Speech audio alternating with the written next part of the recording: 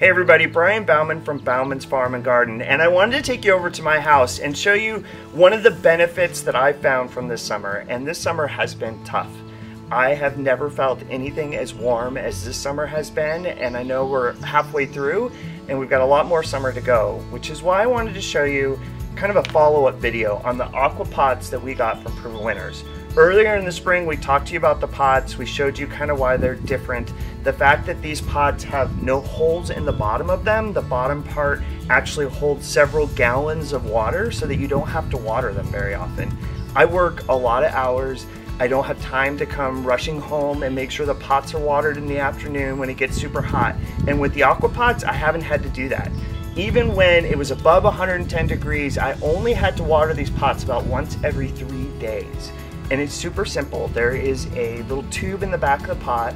I fill it up with water until I see the little kind of run over reservoir on the side start to, the water starts coming out. That's why I know it's full. And that's all I have to do for three to four days during the, even the hottest part of the summer. One thing that I, you want to remember when you're planting these pots is when you first plant them, you've got to water them from the top until those roots get down to the bottom and start soaking up that water from the bottom of the pot. But honestly, I can't tell you how thankful I've been that I switched all of my pots at my home to aquapots. We just got a brand new shipment of aquapots in. COVID has like disrupted distribution channels. We ordered all of these pots over a year ago. We got half of them in this winter they sold great. We just got a brand new shipment of them in. We have different styles available now at the farm. We've got a great display come up.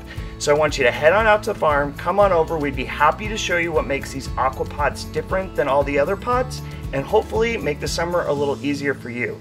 We hope to see you soon.